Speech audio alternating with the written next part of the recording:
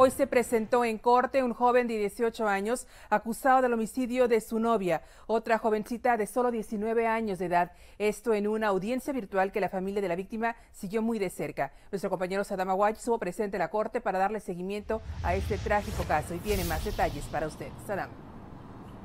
¿Qué tal? Muy buenas tardes, Claudia. De hecho, este incidente ocurrió la semana pasada. Ese mismo miércoles se arrestó a este sospechoso y una semana después se presenta en la corte acusado de homicidio en segundo grado.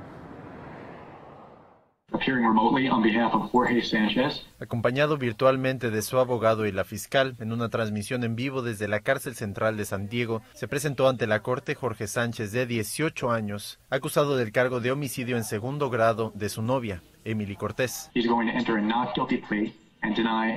Jorge Sánchez no dirigió ninguna palabra hacia la corte, pero su abogado presentó su declaración de inocencia, argumentando que no aceptaba ninguno de los alegatos en la lectura de sus cargos por el homicidio de Emily. Y escuché, pues, como tú cuando escuchas un, como cohetes cuando truenan, pero un poco más golpeado y pues ya la verdad ya no sabía si eran cohetes o te digo eran balazos. La policía de San Diego explicó que cuando los oficiales llegaron a la escena en el departamento donde supuestamente vivían en Mountain View, encontraron a la víctima con una herida en el pecho y fue pronunciada sin vida más tarde en la escena. Sabemos que no nos va a regresar a nuestra hermana, a nuestra hija. Hasta el momento, la policía no ha podido determinar el posible motivo del trágico asesinato. La juez aceptó fijar la fianza en dos millones de dólares y accedió a una solicitud especial de la familia de devolverles las pertenencias de la víctima, especialmente su acta de nacimiento que necesitan para poder realizar los servicios fúnebres.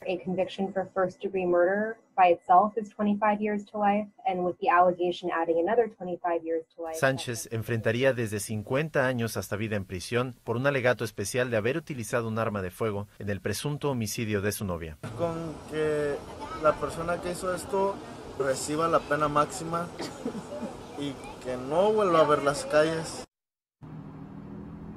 Esto obviamente ha sido muy difícil para la familia, quien ha seguido de cerca esta aparición en corte, de hecho también de manera virtual. Sin embargo, por el, por el mismo motivo han pedido a los medios eh, ofrecerles privacidad y sobre todo no molestarlos en estos momentos de angustia.